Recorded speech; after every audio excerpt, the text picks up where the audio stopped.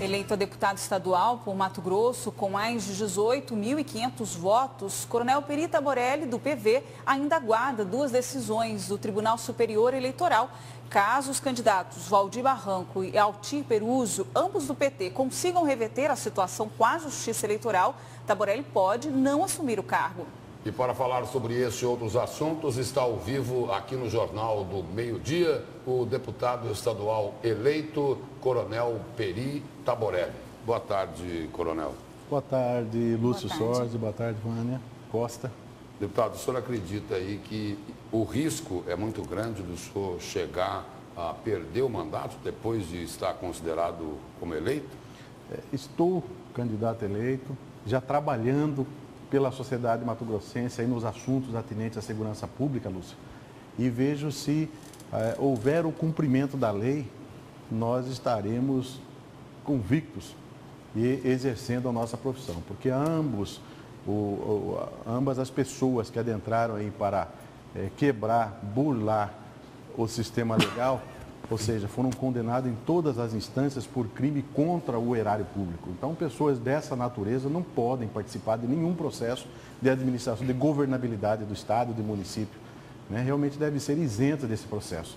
Então, se eu creio em Deus, porque estou aqui por uma ação divina, uma permissão divina, creio que a sociedade elegeu-me para representá-la e acredito na justiça do Estado de Mato Grosso e do Brasil bandeira do senhor principal é a segurança pública. O candidato derrotado à presidência, Eduardo Jorge, ele foi muito polêmico em vários discursos em relação a temas como aborto, a favor e a liberação da maconha. Que no caso, sim, na opinião dele, facilitaria ou reduziria o problema do tráfico. Qual é a opinião do senhor nesse assunto, sendo do mesmo partido, inclusive? Afirmativo. O Partido Verde, eh, temos aí no Partido Verde a cláusula de consciência, é aquela em que cada um dos integrantes do Partido Verde exercita as suas convicções. A dele são essas citadas. A minha é a de proteção social de todas as formas possíveis. Não a droga, não o aborto e um trabalho forte de proteção social. Deputado, continuando nessa questão da segurança, já circulam informações né, é, pela, pela imprensa de que a Secretaria de Segurança é, é, com o governador eleito Pedro Taques, pode, existe uma possibilidade de ser entregue ao membro do Ministério Público. Qual a opinião do senhor sobre isso? O senhor apoia? Eu vejo que todas as vezes em que comandou a Secretaria de Segurança Pública um profissional não técnico, um profissional não da área, nós tivemos, acarretamos sérios problemas para a sociedade. Até porque o condutor, o secretário de segurança deva, e na fala do governador eleito, Pedro Táxi, deverá ser um técnico que milite na área. Agora, um, um, promotor, um procurador, ele não pode ser classificado como um técnico na área de segurança. Apesar de também investigar. Sim, mas não tem o conhecimento de comandamentos. Nós vamos mexer com tropa, com a Polícia Judiciária Civil, que tem as suas particularidades, a Polícia Militar com as suas, Politécnica o conhecimento desses profissionais que são exímios, os que passaram pela Secretaria de Segurança, foram exímios profissionais na área deles. Mas em segurança pública perdemos e muito por, pela falta de conhecimento. Então eu vejo que seria um erro gravíssimo e que eu vou lutar muito. E tenho discutido já com o governador do estado de Mato Grosso para que nós possamos aí ter um secretário de segurança da área. Temos coronéis de polícia, delegado de polícia estadual, não pode ser federal também, que é outra realidade para que possamos aí ter comandamentos e aplicação de um programa sério para a segurança pública do Mato Grosso. E aí já estou oferecendo para o governador, irei mostrar na semana seguinte, o Choque de Ordem, que é um programa genuinamente mato-grossense para que nós possamos aí ver reduzidos os índices de crime e violência e aumentar a sensação de segurança de nossa tão sofrida sociedade. Agora, um outro tema tradicional do PV. O que o senhor defende em relação ao desenvolvimento sustentável num estado cuja base econômica principal é o agronegócio? Desenvolvimento, a sustentabilidade pregada pelo Partido Verde, ela está presente em todas as nuances, tanto na área verde, na área ambiental, quanto na área social, na área rural, urbana. Nós temos que ter crescimento com desenvolvimento. Aí entra a justiça social, entre outros assuntos. Agora, deputado, no, no início do, do, jornal hoje, eh, eh, nós apresentamos uma reportagem sobre os problemas do IPTU em Várzea Grande e os problemas da cidade de uma forma geral. é, como deputado na Assembleia Legislativa, é, o senhor pode fazer o quê pela cidade de Várzea Grande? O senhor tem sido é, um crítico ferrenho da atual administração. Na Assembleia fica mais fácil de executar esse trabalho de oposição? Olha, na, na, na função de deputado estadual, nós teremos muito mais força, e juntamente com o governador do estado de Mato Grosso, para levar até a sociedade varzegrandense os serviços de qualidade, serviços de qualidade, serviços públicos de qualidade. O que nós não temos hoje municipal, não temos gestão, estamos vivendo uma situação caótica e a minha oposição não é a qualquer autoridade. A minha oposição é são aos atos de corrupção que assola o solo varzegrandense e que tem que ser freado e nós vamos fazer agora com muito mais poder político. O senhor tem nomes para apontar nessa questão de corrupção?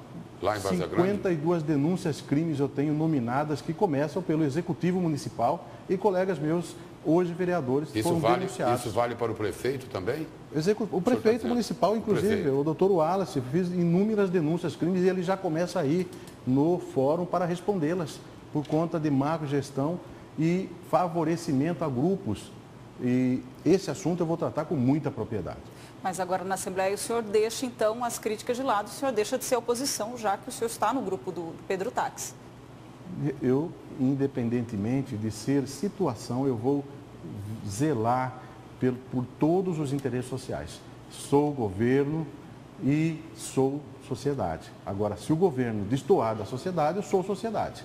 E aí vamos fazer não só críticas, ações para restabelecer a ordem. E é o que nós temos feito nesse mandato nosso até então de vereança.